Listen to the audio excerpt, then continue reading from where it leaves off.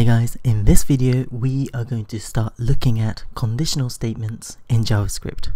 Now, conditional statements is when you have a piece of code that you want it to uh, load if something is true or false. Say for example, uh, if this a visitor who visited the, your website is uh, you has a login name say if uh, logged in equals true, then you can uh, redirect him to his uh, main page, main profile page.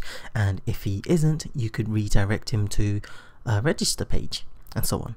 Now, in particular, in this video, we are going to look at the if statement.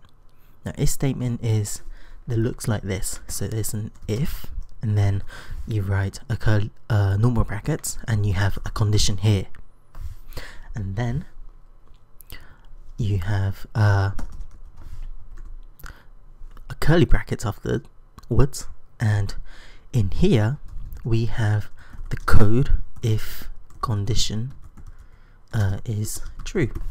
And let's actually comment it out. Okay so this is the structure of this if statement. Some people prefer to have the curly brackets over here so that it looks more uh, it looks the same on the top and bottom but I just use it here so that the JavaScript code doesn't get too long.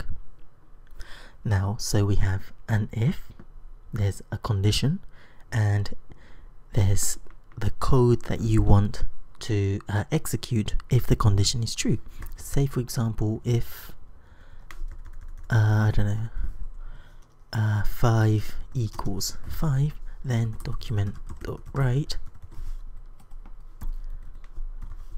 5 is 5 something like that. Let's save the work and try refreshing.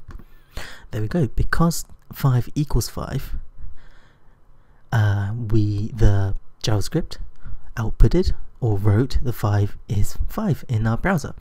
Now let's say if 6 equals 5 which isn't. So if I refresh here, that 5 equals 5 is going to delete itself. Or it won't uh, execute this piece of code won't execute. Because this will only execute if the state the condition in here is true. Say for example we have var x equals uh, 5 no 10 or something. And then say if x equals uh, 10. Simple.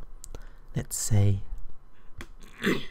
sorry, the condition is true. And let's refresh.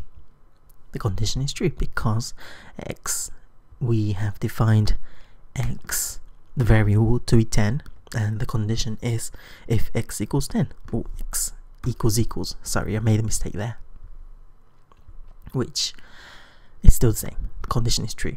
Now let's say x is greater than 10. Let's see what happens. That's not going to work because x or 10 is not greater than 10. However, if we do if x equals, if x is greater than or equal to 10, that will still, uh, that statement is true. Therefore, the code document.write will be executed.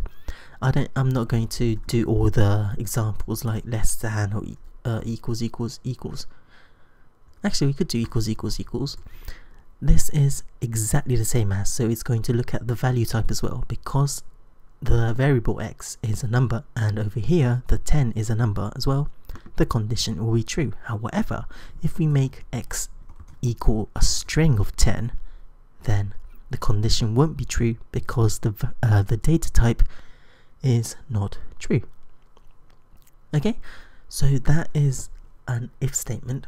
This doesn't have to be like two numbers. It, it could be, say, I don't know, if logged in equals true, we could have something to check if the user has logged into your website and you could say if uh, logged in equals true.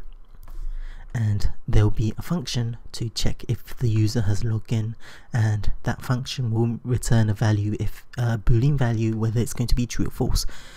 Uh, later in my videos we are going to be looking at functions and how to write these stuff as well so don't worry about that for now.